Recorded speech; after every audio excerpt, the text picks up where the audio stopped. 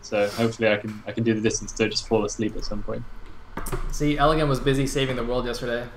I told you. I told you guys. That's why he wasn't here I, I was indeed saving the world. doing the standard world saving. Yeah, that's what happened. All right. Well, we've got another series lined up. This is going to be the third, fourth place match. Uh, for Which is important. Which is important. Indeed, this is actually the match that decides who qualifies. Because remember, the top three players qualify from each qualifier. So whoever wins this goes into the tournament. Whoever loses is out. And so I believe we're going to be looking at Wallace again. Then, in fact, since he did lose the last match, which was the semifinals. Mm. And I don't know whose opponent will be though. I guess we shall see. Let's find out. Let's do this, Mr. Sayle. All right. So once again, guys, we're not just going to, we're not going to be casting every game. We're basically just being given um, the more interesting games to cast, as decided by our referees. Um, since it is the qualifiers, we're just kind of randomly picking.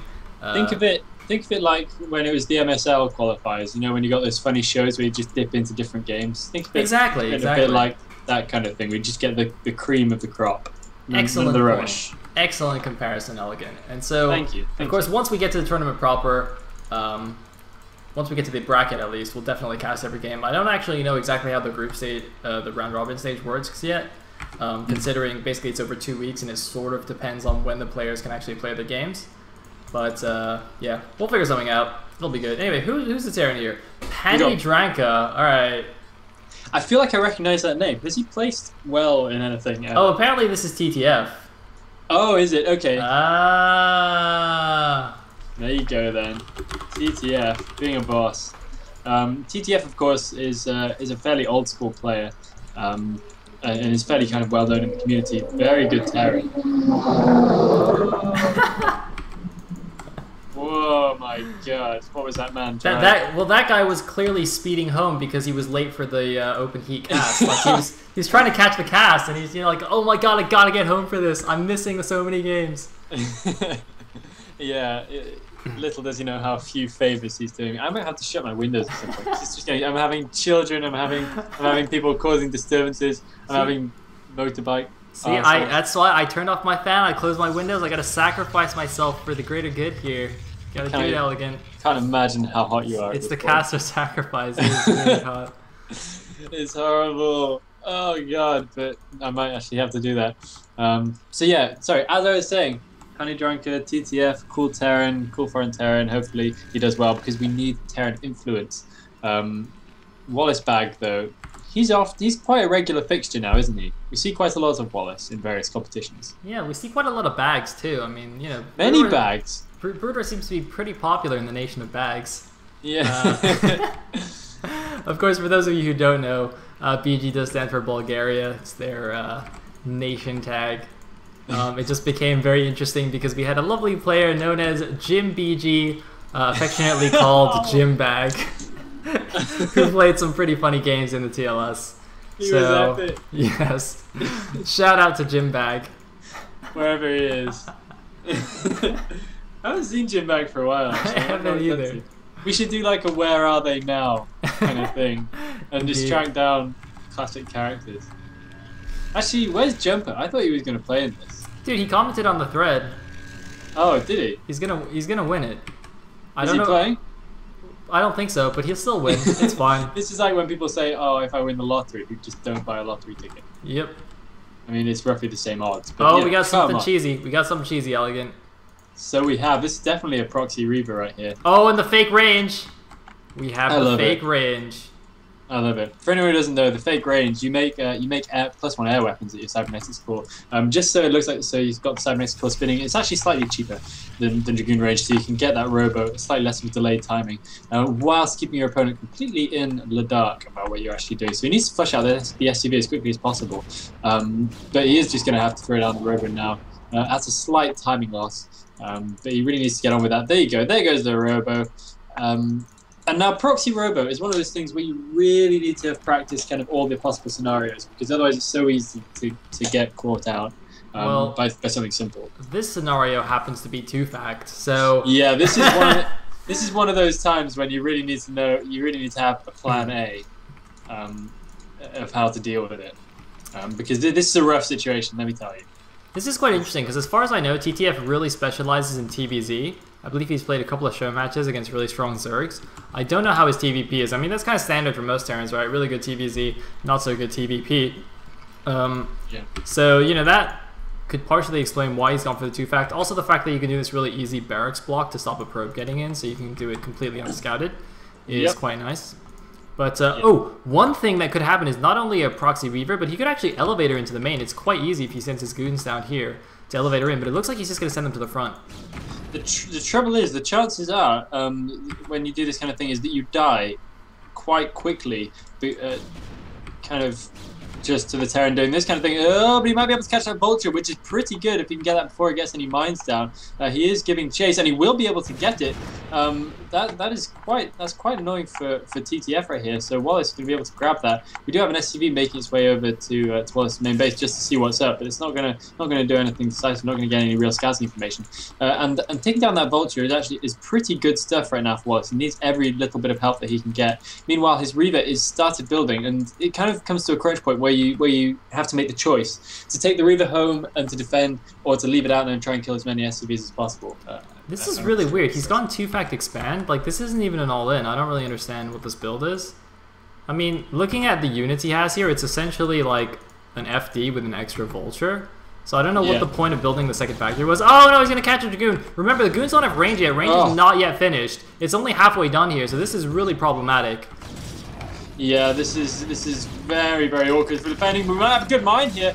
Does go off, and he does manage to catch um, the, a couple. oh my god, he almost ran into that mine. He does manage to catch one or two marines on the retreat as well. So this two fact isn't too strong. He should be able to defend this. He needs to get out there and try and cut down on the marine count. Oh, losing a dragoon for free. I don't think he knows quite where the mines are. He can get that tank though, and that's a big deal if he can get that tank before siege tank finishes. And he does do so, losing another dragoon, but it's definitely worth it for the siege tank. And now in comes the Reaver into the main base as well. Will he get any good scarabs off? He needs to drop it down, otherwise nothing gonna happen. Floating on out again. Oh, he's going after the tank. It does only take two reaver shots to kill a siege tank and one to kill a vulture. Unless the vulture's running in the opposite direction. That's one of the fun quirks. So Scarab, Oh, he could get a oh. oh. Scarab off. Oh, just missing the SCV stack. This isn't going quite as well as it should be going for, for poor old Wallace. Fortunately, he has managed to hold on to his natural expansion, so nothing catastrophic happening in the meantime. And he's going to go back into the main now. He could get a really nice Scarab shot up here. Every single SCV is He's right gonna drop on the mine no, though. No, no, he's gonna no, drop on the mine. No, he's, not. He's not going to drop at all. What is up with Reavers today? Uh, Planet Giant, sorry, TTF, sieging up. He can tank one siege tank here if he so wishes. Will he get a Scarab off? Eh, He gets Hey. a tank at least. Not bad. And he's going to start picking up SCVs now as well. Well, I thought that tank was being repaired, so Oh. Oh, nice shot. So four CV so far. Oh. Uh, and he might actually get the second tank. Can he get the second tank? Oh, it Oh, looks man, like he may be well do. The tank is just running away. There is a mine there. Will he be able to get on the SCV stack as well? He needs to pick up that Reaver. Oh, nice Scarab. This is actually going really, really well at this point um, for, for Wallace. He can't drop that Reaver down. Oh, maybe he can. He's going to get that tank. That's more SCVs as well. He should drop on this one. Oh no, it's too late. Oh no, but he can drop on the SCVs. I don't think the tank was on siege. Maybe he does. He does choose to take the Reaver out, but he's done some good damage there. He should have a second Reaver. Yeah, there we go. Second Reaver popping out now too. Wallace getting into a nice, nice position. Quite surprisingly, after after facing down a two fac and doing not great sort of initial first first wave damage with his Reaver. He does now have two Reavers, so he can continue to take on siege tanks in the main base, and he might do just that. He needs to not drop on this mine though, and he's looking suspiciously like he's going to do that any moment. See, all he and, and the thing is, even if there's a siege tank, he can just drop the uh, the uh, full health reaver first to tank the first shot, and then both reavers, if they both shoot, they'll just one shot a siege tank. So it's very very dangerous. And is there still no engineering bay? No, What? still no engineering bay. Oh, we have a Dragoon coming in. Here's the tank damage from the siege tank. And these Reavers, oh, not quite getting any scarabs off. I thought he was going to lose one Reaver there. Of course, uh, Vultures are pretty good against Reavers. Uh, they do they do a good amount of damage, but this could be a really nice attack for Wallace. He's going to get in there right onto this siege tank, and I think that's no, he does have one more siege tank in the main, but that's busted Wallace right It's into. Oh, he drops too close and loses a Reaver for free. That is unfortunate stuff. And he's now trying to push all the way into the main. I don't know if this is wise. He needs to get that Dragoon out there. He can take and hold the natural though, and that would be the best thing to do at this point. Yeah, that was uh, quite interesting. I, I wasn't sure if that Reaver actually was in the minimum range of the Siege Tank. It looks like it might have just died to the splash. But anyway, continuing to pressure this front. I'm a little bit surprised there's actually no Observer here, considering he's got a Robo right here. You know, you can just make an Observer, and you won't have Yeah. to suicide all the goons all the time. Um, but hey, whatever works. Man, but look at this. There's actually a mine like next to this tank in the mineral in the mineral line. If he just drops a Zealot or a Goon Oh. directly on that, he could just blow everything up. That'd be nice. I would enjoy that very much. It looks like Oh, he's going to continue oh. with the natural. He can drop the Reaver down now without any fear from any mines. He could get the SCV stack. I think he should get the SCV stack right now. Oh, that was ripe for picking. Uh, he can now come in with those two reinforcing goons. He needs to try and keep the pressure up and not to land on that mine. It's looking so dangerous. Indeed, it is. More Dragoons are coming out from Oh. Wallace. He's doing the mine drag. He's gonna try and drag it. Oh, if he can drag that one into the SCVs. No, he's going into the main. What? I think he thought there were going to be more mines. He thought there were going to be more mines. He's he's had such great opportunities right here to get some really nice SCV stacks. He hasn't quite managed to do so. Uh, and at this point, he's starting to get a bit expensive in terms of his Dragoon count because once that natural expansion comes up for, for TTF, then he's going to be able to start macroing pretty fast. He does have two Reavers going back into the main base, though. What's he going to do? He's going to have to drop next He's gonna drop on the mine. He's gonna Oh. drop on the mine. Oh. Oh, and that was a quick shot from that Reaver. I've never seen a Reaver shoot so fast. Never in my life. He's going to lose that Reaver though. God, that needed to not happen, but it happened. Both the Reavers going down right there. I don't think that was cost effective. That was not at all, man. Slightly unfortunate. If he, if he just dropped the Reaver slightly inside of it, he could have blown up so many more SCVs. Uh, but obviously, he didn't know that mine was there. He does finally have an observatory, I think. Yeah, he does. So he can start making observers. Uh, in the meantime, he has got his third base going as well. So it looks like he's still in a decent position. 74 supply against 47. Mm, But yeah. I think now, well, now that there's an engineering bay finally, we can have some turrets. Took a uh, while. TTF should be able to hold off this shuttle. Mm. He should really build a turret behind this cliff, behind his natural though. He needs some vision there. Yeah, that's quite important actually because the um the barracks actually isn't doing isn't doing much in that regard. He's the barracks giving him vision over the high ground, so the shuttle can't just kind of fly around uh, completely freely there. But yeah, there you go. It's the, the barracks giving him some vision over that cliff now as well. So that that's definitely a good shout from TTF. He's got an SCV going over to his third base location as well. I wouldn't imagine that that's a real sign of intent. I think he's just scouting and make sure he knows what's happening. And a Vulture Harass going over to to Wallace's third base, but very sensibly he's walled them out. However, it looks like the Vulture might be able to make their way through into his main right now. And that could be really annoying if they've got any mines. They do have mines in them. Only one, but he needs to not lose any pro stat. Okay, he's going to be fine. Um, not too catastrophic there for Wallace. It looks like the Zells are getting really confused though. They can't figure out how to go in the back and kill these vultures. But there we go, finally taking care of that. Uh, meanwhile, looks like the shuttle's just chilling still. The 6 o'clock, no additional Reavers on the way. I'm sure TTF will be quite happy about that. Meanwhile, he's got a third command center now, going to get ready to float that over to the 9 o'clock. So taking that off just the two factories here, going to try and just play defensive. Maybe, uh, I mean, the thing is, you can actually, even though the third base is kind of like poking out here, the entrance, you can basically just uh, put tanks on the high ground here, and it also helps to defend your natural. So actually, taking the third on this map in TVP is really quite nice. Well, however, though, Wallace did go for the interesting, aggressive move, getting speed lots instead of taking up to Arbiter. So that does mean he has a good number of zealots with speed um, in order to really tank damage and get in there amongst the tanks. So I think this is going to be um, is going to be really difficult for, for TTF to make any actual progress um, out to defend his own third base because with those speed lots in play, oh, but I don't know if this is a good idea. Wallace actually going right into the natural, leading with dragoons. Even when he has zealots, this is just this is not very good at all. He's going to lose so many of his units, and that is is TTF's ticket back into the game at this point. Um, because Wallace just binned all his stuff. Classic Um, Protoss, classic Protoss. Here, let me just run into your tank line. Nope. But Wallace did so much stuff right up until that very point. He was in a good position. Oh god, damn It's another guy who's late for the uh, the cast. Don't worry, Elegant. It's actually the same guy. He's just going backwards and forwards. I know he, he he was so anxious to get home he forgot where his house was. He's just driving in circles. He's like, help! I need to listen to the cast. He might actually just be like listening in outside your window. He's just driving past the window, just catching glimpses of what's going on. Glimpses of greatness. I think that's probably what's happening. You know. Um, but TTF is going to be able to use this opportunity to get there uh, and get to his third base. But you see how thin his line is now. If if Wallace hadn't done that stupid attack, TTF would only be two or three tanks up on what he is now, and uh, Wallace would have a, a pretty sizable army with which to come down on this, and he'd be able to. I think he'd be able to destroy this attempt at the third base, to be honest, because Wallace Wallace's daring move to to get speed instead of getting earlier Arbiter attack would have really paid off right there, and I'm surprised that that wasn't why he did this.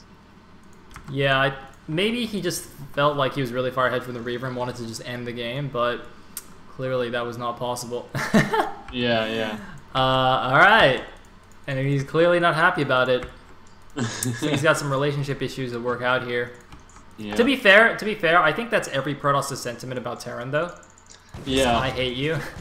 Terrans are always moaning as well, just to just to hammer it home. They're always Mhm. complaining, man.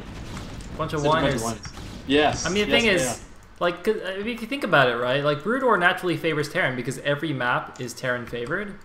So, you know, wh- why? What do they even have to complain about, right? Like, every map is good for them.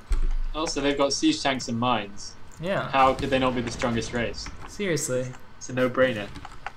It's an absolute no-brainer. And um, trying a little bit of vulture harass right there, but that gets pretty easily shut down. All those vultures are going to go down. There hasn't really been any significant vulture harass for TTF about this game. He's never really had the extra stuff to kind of throw around. So that means that Wallace has been fairly undisturbed up until this point. So his probe count is really, really Whoa. his late game macro should should. Oh, Elegant, your voice just went A little bit of lag going completely. On. Your voice just went completely robotic. did it? oh my god, that was crazy. That was like r- robot elegant. what the hell? Terminator elegant. Oh god. I gotta god. listen back to that. Is it, is That's it cool awesome. or weird?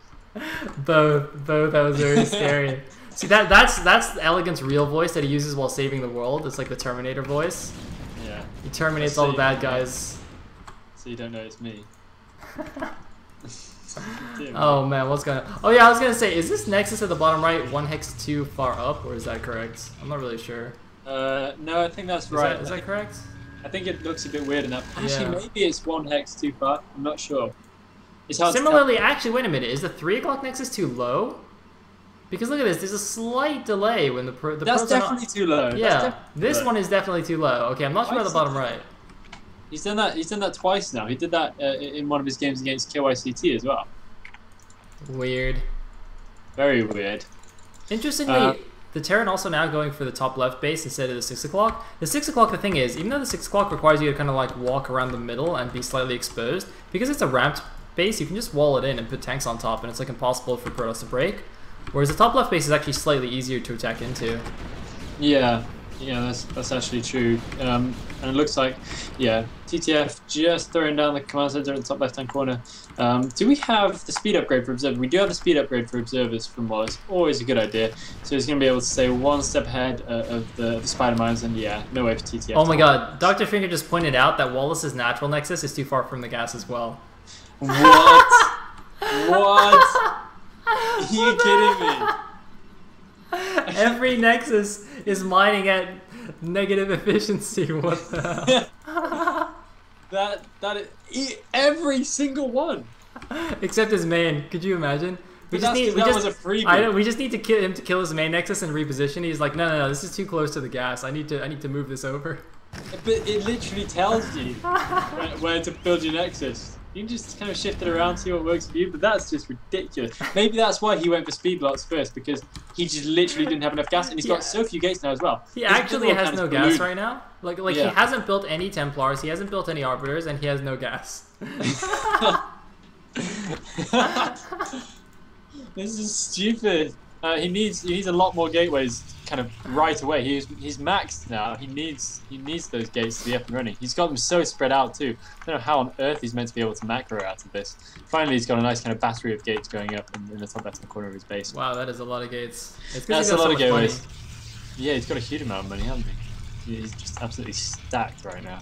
He's getting another base up at 12 o'clock as well. Wallace um, should be well on top of this. It's going to be kind of a one, a one big push kind of situation for TTF, where he's going to need to do really good stuff with one push to get himself some map position and uh, and buy himself some time so he can get another base up and running. Otherwise, it's uh, just going to be way too hard for him to do this. But it may be too late for that already because Wallace is just so rich and has so many gateways and bases.